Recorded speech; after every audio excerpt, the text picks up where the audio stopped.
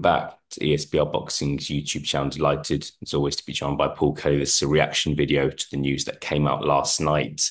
Fabio Wardley and Frazer Clarke will rematch after their thriller back in March at the O2 in, in London. Rematch is taking place on the undercard of Artur Beterbiev versus Dimitri Bivol on October the 12th. Paul, it's look, it's the fight, it's the rematch we wanted. It's um it's it's, it's a big fight. It's a big fight in the heavyweight division there's a little bit to unpack here, but what's, what's your immediate reaction to this fight being made official and, and getting over the line? Yeah, mate, thanks for having me on as always. I'm delighted that these two are dancing again, to be honest with you. I think first fight was just unbelievable. It was it was class. Um obviously the you know the draw, so it would make sense to have the immediate rematch. You know, it was a bloodbath that that fight as well. It was just simply incredible.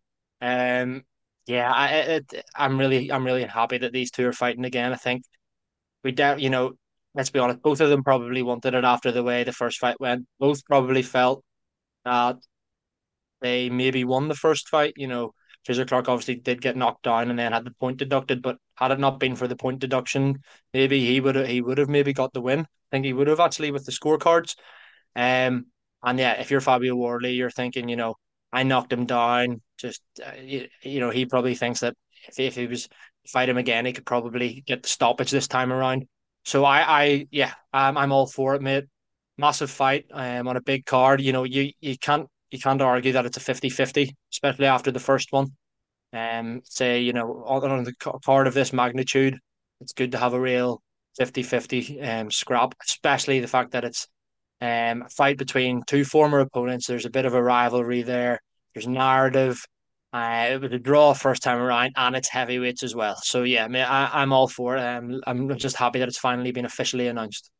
Yeah, it's fantastic, and I think that sometimes in boxing, things don't make sense when things happen. But I just feel like for a change, the right thing to happen here was a rematch, considering it was a draw and a great fight, and we're getting that immediately. There's no kind of let's let's marinate the rematch. Let's kind of let's go in different routes and then we'll meet together in a couple of years. There's none of that. We're going straight into a rematch, and it's it's it's it's it's fantastic. And I think look, we've had a fight of the year. I think that's it's possibly going to be the best fight to take place in Britain um, this year, back in March.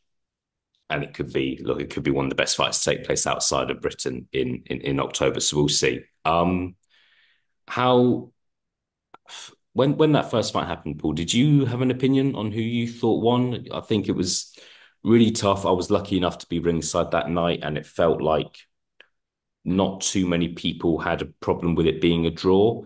However, I felt like most people, if you had said to them, right, if you if there had to be a winner, who would it be? I think most people would have said Frazer Clarke, if I'm being honest. But um, what's what's your opinion on the first fight? Yeah, so I think I did, if I can recall, I think I did just edge it towards Frazer Clarke. However, uh, you you know me, Mister. I'm not I'm not not biased at all. I think going into the fight, I had predicted Frazer Clarke to win, so I was maybe maybe have my Frazer Clarke tinted glasses on a little bit. But no, in all seriousness, it was. I I completely agree with what you say, mate. A draw was a fair result. I think. Yeah, I'll maybe just give it towards um Frazer Clarke, but it's not any more than like a, you know 52 48 or what kind of thing. It wasn't like it was a wasn't like it was a robbery or anything. Yeah. Um yeah, as I said, I think both men felt like they probably won it. You know, it's but you know, like like Wardley, yeah, more people are maybe saying that um Clarke won, but if you're Wardley, you're thinking, I got the knockdown and all there, I deserve and I deserve that win. But yeah, man, it's just it's just hoping that second time around the fight lives up to expectation. And yeah, hopefully this time around, whether it be Wardley or Clarke, we do get a definitive winner. Yeah, look, I think as I said, look, on the night, I don't think there was anybody kicking off about it being a draw. Um, I think, look, maybe you mentioned earlier in the video, Frazer Clarke had that point deducted, and I'm sure he kicks himself about having that point deducted because that meant he didn't win. Really meant he meant he didn't win the fight. And I think on the other hand, Frazer Clarke will be confident that he nearly got the job done. Uh, however, Fabio Wardley did, you know, he did knock him down. Fabio Wardley is argu- arguably the bigger puncher. And yeah, look, I just think it's a really, it's just a re- I'm just so happy this has gotten over the line because I would have been so disappointed if we had seen both fighters kind of fight lesser opponents in October, November time. I just think it would have been a bit of a waste of time. We really need to see this rematch. Um, going to ask you what your thoughts are now, Paul. I know I feel like I always feel bad asking this, especially when it's a tricky fight. I'm going to give you the option not to give a prediction just because I think it's tricky and this is quite raw and you've got time to to think of one. We've got what around around six weeks until fight night. But if you do have a gut feeling, what what is it? Yeah, it's really difficult. As you said, I might chop and change my prediction ten times between now and and October time. But right now, I'm sticking with what I thought the first fight, and I'm edging Frazer Clarke. Having watched the first fight, I wouldn't. I think he could stop Fabio Wardley. Don't know, probably not. You know, I think it could go the distance. Um, but I think that think that Frazer Clarke is the better all round boxer and fighter. But in saying that, you know, the, there is a little bit of doubt in my mind because Wardley's the younger fighter and there's probably more mm. room for improvement. So if he does improve, he is that fresher fighter. Clarke's not a young fighter. We all know that. He turned over very late um, from the amateurs. But yeah, right now, come to my head, mate, I, I'm edging Frazer Clarke points. What about you?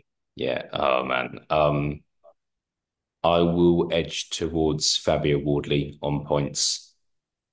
I just think it's it's it's you mentioned the word improvement there, and I think that's that's key here. But I don't know. It'll be interested to see look when the when the odds come out. Who, if there is a favourite, I'm not convinced there will be. I think it could just yeah. be pretty similar odds for both fighters, but we'll see. I think, but that's I look. I love fights like this when you've got you could put 10 boxing fans in a room and there's a good chance five are going to say Wardley, five are going to say Clarke. Um, and look, it's an undercard fight as well. That's the crazy. That's that's that's the crazy thing. This all kind of happened midway through, midway through the evening as we warm up to Artur Beterbiev versus Dimitri Bivol. Fingers crossed, we get a repeat of the entertainment levels back in March. I think that's kind of personally, I think that's that's the most important thing. Paul, good to be joined by you. Big big undercard happening on October the twelfth. Um, yeah, on the undercard of Artur Beterbiev versus Dimitri Bivol. Other fights to look forward to as well. If you've enjoyed this video, please do check out the rest of the content on our channel and subscribe if you haven't done so already. Paul, good to be joined by you. I will speak to you again very soon. That's what, mate. All the best. Cheers.